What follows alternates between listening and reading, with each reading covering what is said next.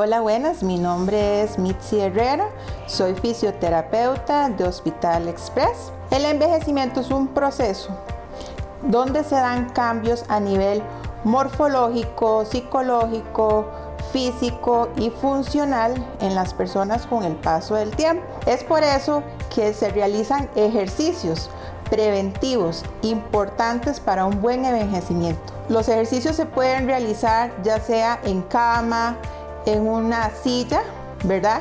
Que tenga un buen respaldar, donde los pies estén apoyados sobre el suelo, eh, que tengan un calzado este, acorde a la necesidad. Eh, estos ejercicios se hacen tanto en extremidades superiores como inferiores, además de cuello y espalda. Es importante realizar estos ejercicios, como dije anteriormente, para evitar una inmovilización de la persona como tal.